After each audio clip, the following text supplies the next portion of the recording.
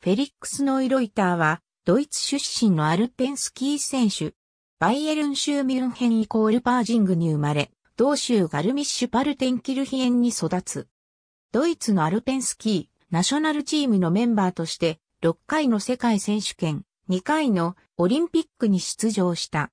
2005年の世界選手権では、ドイツチームのメンバーとして団体金メダルを獲得している。2013年の同大会では、回転で銀、団体で銅メダルを獲得した。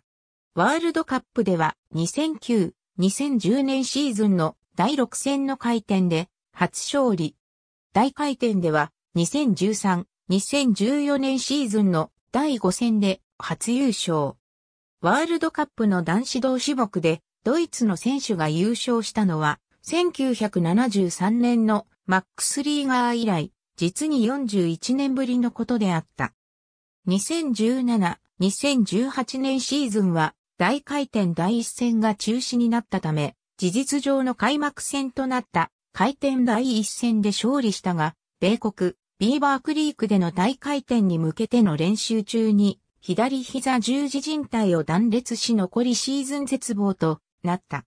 2016、2017年シーズン終了時点で、ノイロイターはワールドカップで通算12勝、表彰台に46回上がっている。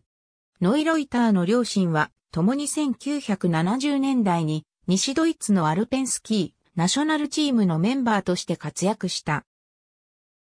父親のクリスチアン・ノイロイターは、ワールドカップの回転で通算6勝をマークし、母親のロジー・ミッターマイヤーは、1976年のインスブルックオリンピックの格好と回転で2冠を達成し、さらに同年の世界選手権制覇、ワールドカップ総合優勝も成し遂げている。ありがとうございます。